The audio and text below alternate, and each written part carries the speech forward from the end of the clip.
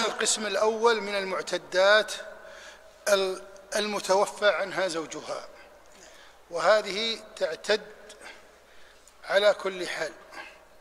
كانت حاملا أو حائلا إن كانت حاملا فتعتد بوضع حملها وإن كانت حائلا فتعتد أربعة أشهر وعشرا هذه المتوفى عنه زوجها.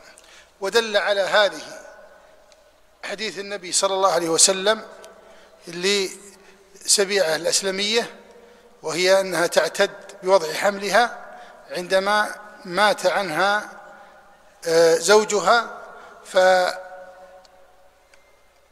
فولدت لمدة قصيرة فسألت النبي صلى الله عليه وسلم فقال قد حللت فانكحي من شئت. أما بالنسبة لأربعة أشهر وعشرة الحائل فهذه دلت عليها آية البقرة. والذي واللائي والذين يتوفون منكم ويذرون أزواجا يتربصن بأنفسهن أربعة أشهر وعشرة. فإذا بلغن أجلهن فلا جناح عليكم فيما فعلن في أنفسهن بالمعروف. نعم. هذه بالنسبة للتي إيش؟ آه مات عنها زوجها. نعم.